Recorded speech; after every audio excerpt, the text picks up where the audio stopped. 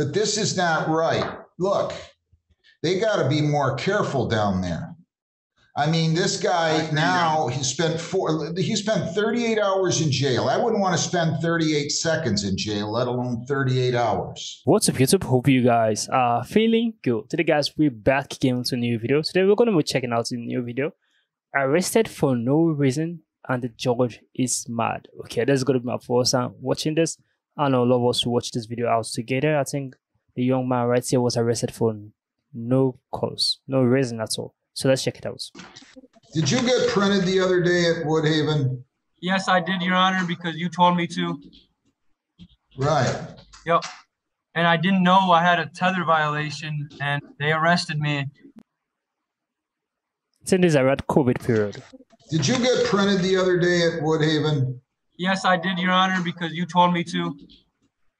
Right. Yep. And I didn't know I had a tether violation, and they arrested me. And also, I need to pay uh, a ticket Slow today. down. Slow down. Sorry. Sorry. Slow down.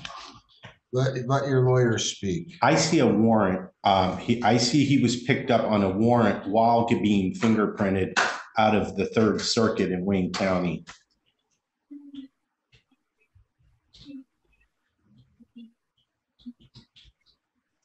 Do you have a, uh, is there a deputy right there? Yeah. Deputy, can you come back up here, please, and state and spell your name for me? My name is Officer Marquies Ridgell, M A R Q U I E S. Last name Ridgell, R I D G E L L. Thank you. Mr. Elliott was picked up on a tether violation, it says, on the 4th. For the life of me, I cannot figure out what the tether violation is. I read this record, this report here, and it says that he was over there lurking at the police department.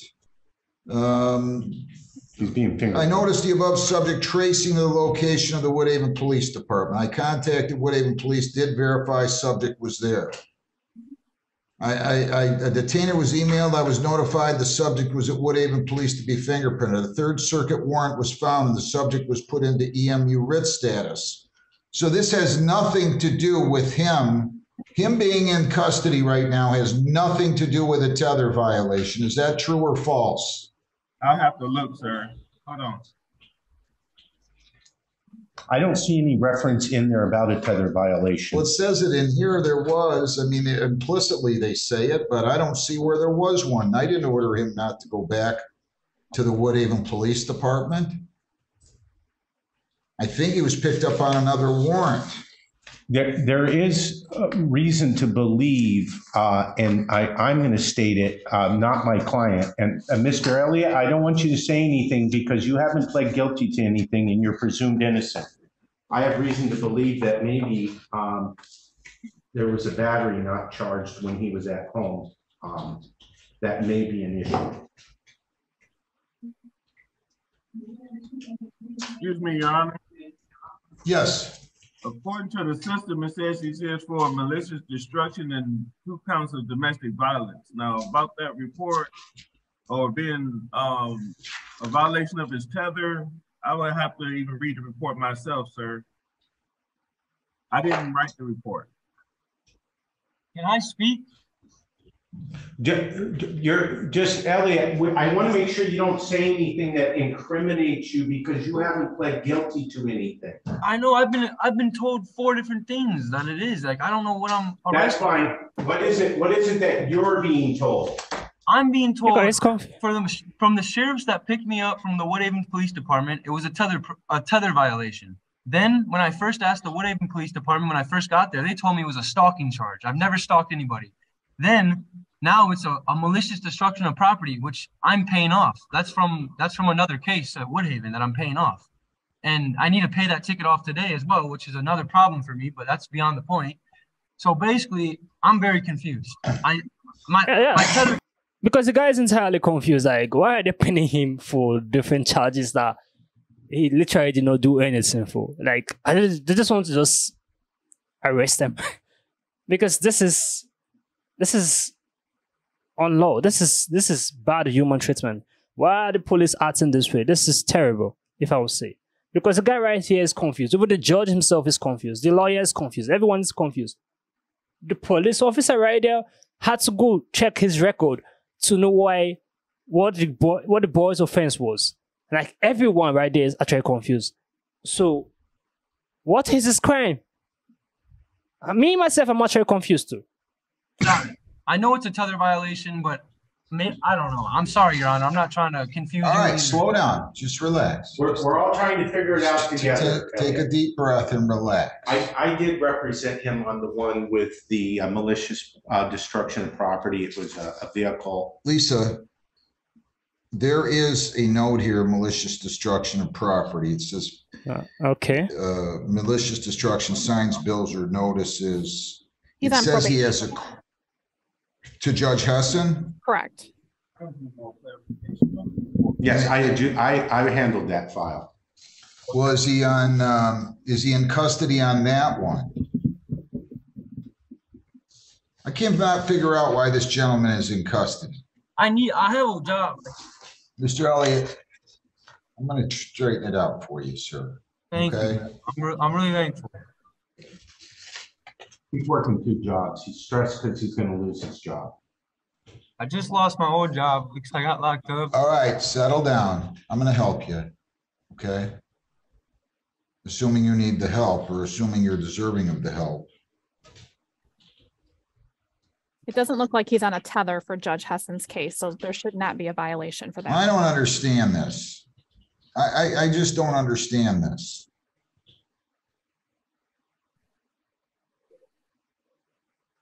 It- it's, they're saying at approximately six P M, nineteen hundred hours, while, or seven PM, I guess that would be, while monitoring the OmniLink software, I noticed the above subject tracing the location of the Woodhaven Police Department.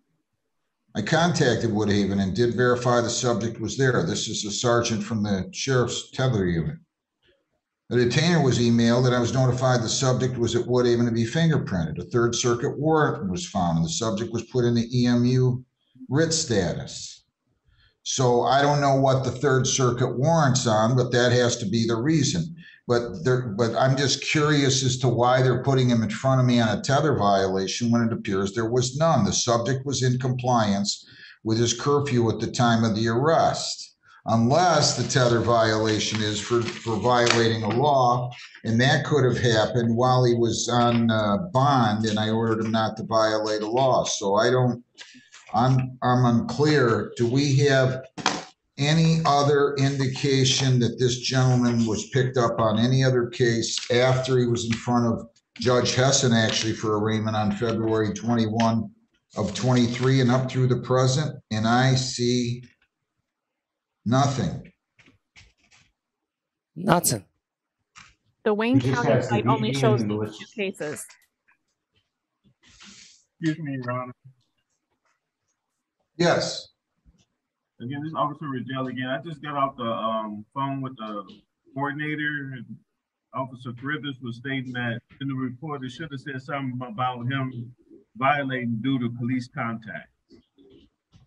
Well, that could, hang on, Mr. Elliott. But nobody's telling us what the police contact is.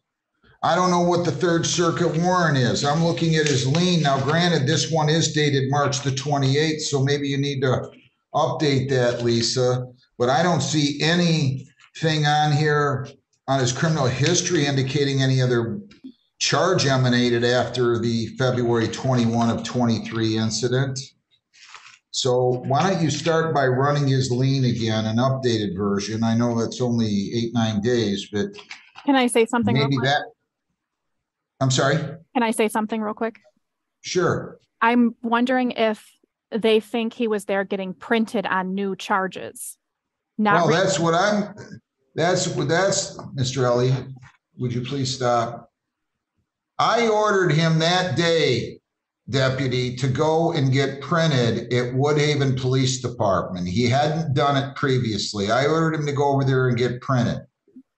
That's why I was at the Woodhaven Police Department, because on this domestic violence case that I have, that has an offense date of January 27 of 23, for which he was arraigned on February 21 of 23, I noticed when he was in court on April the 4th that he had not been printed. So I ordered him to go over there and get printed, and I set this for a bench trial. Then they're talking about on the tether violation that he was at Woodhaven PD. I, I think. I think there's been What- some, I think there's it's a been, misunderstanding, Your Honor. so do I. Your Honor, I'm going to ask Wait. that, Do It's we have really any, bad. ish- any indication that he has any other case pending in Wayne County Circuit Court, Mr. the Deputy Marquez? No, sir, not that I see. None but the current stuff. you Lisa, guys do you have, do you have any indication on anything, including the LEIN that you're either have run or are running or about to run, that there's any other hold? No, the LEIN is printing down there in the courtroom right now. And I looked on the Wayne County site. It only shows these two cases it's held on. So the problem is somebody had make, made an assumption, and my father used to tell me what would happen if you made an assumption. And, and, and it's not a good one. This guy's been sitting in, he's been sitting in jail for two days. Unless there's a hold, I want him released immediately, thank you, Okay. Judge. okay? No tether? Well, no, he's still gonna have his tether. I still want the tether on him. If, if. if- Wait. Yes, Judge. I want, I want the tether on him still with the same tether conditions. Um, and, and we will send those back if we need to.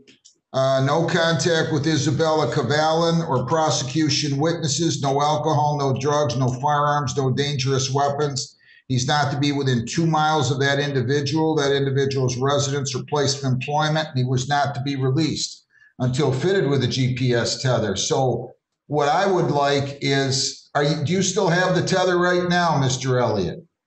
No, they cut it off, Your Honor. So they need to get that back on him with those same conditions. And would you tell them the judge would really appreciate it if they would expedite it since he's just spent 48 hours in jail or thereabouts, 38 hours in jail that he shouldn't have spent 38 seconds on? Yes, So- Your Honor, I'll get with my sergeant ASAP. So Lisa, let's send that back, the uh, mittimus. We'll just do an amendment and say the defendant has posted bond because he has February 28th of 23. I'll just make a note, and then you can put in the conditions to make sure they get all the conditions in here. Defendant uh, taken into custody on April the 4th. It appears that was in error.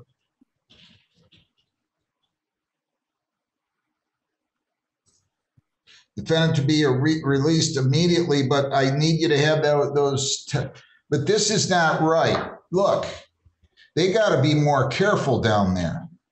I mean, this guy now, he spent four, he spent 38 hours in jail. I wouldn't want to spend 38 seconds in jail, let alone 38 hours. Now, he's got himself into trouble, but he still enjoys the presumption of innocence here. And Yeah. now somebody's going to tell me they can't get the tether tether back on for a day or two or six, and that isn't right either. So go to do whatever you got to do. Tell him the judge said he wants this guy fitted with the tether first and foremost right now, as soon as possible, so he can get out of there because he should not have been in custody for the last 38 hours, as far as I can tell. Thank you, Judge. I'm, I'm gonna get my, my in the car right now. And if they need to talk to me, they can call the court and I'll talk to them, but you Yes, got to be careful. Thank you very much, deputy. Have a good day. Thank you, Judge. Thank you, Mr. Baldwin. Thank you, Your Honor. Thanks a lot, Mr. Elliott. Stay out of trouble, though. I will, man. I'll talk. I don't want you to say a word. Shh. Stay out of trouble. Don't say a word. Good luck.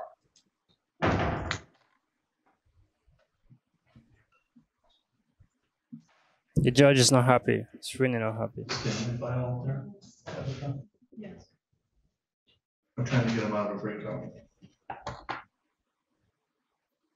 This is really, really sad because um, I feel sad for the boy because he have actually spent 38 hours in jail for for actually nothing. Because he committed a crime does not mean he's just like that. They just presumed him uh, bad.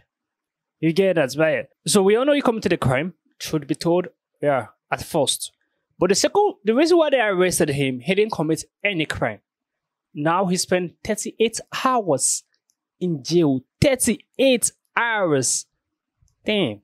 That that is that's serious. Like really, really serious. I know some people can spend two hours in jail.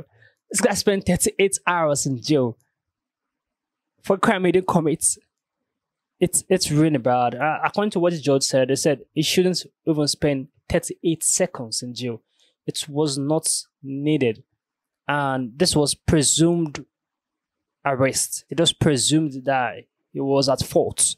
And this is bad. This is something that she look into because this can this could be someone else. This could be more serious than this. Like if it was someone else that was arrested for 38 hours.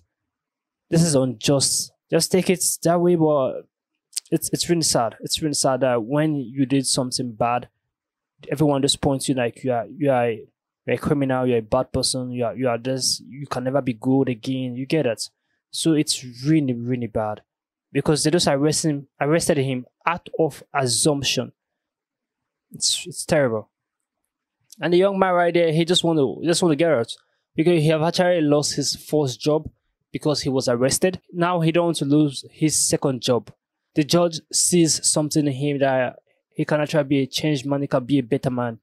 And that's true. Me, I, I saw that in him that he, this man, this guy right here, he learned his lesson and he don't want to repeat that same action twice. So this was interesting to watch and at the same time really, really sad that the guy had to spend 38 hours in jail for a crime he didn't commit. Um, comment down below what you think about this video. Give us a thumbs up. Share this video as many as you can. Share thought about this video. What you think about this video. And we'll see you guys in the next video. Make sure you stay safe. I just want a bag, like an old lady.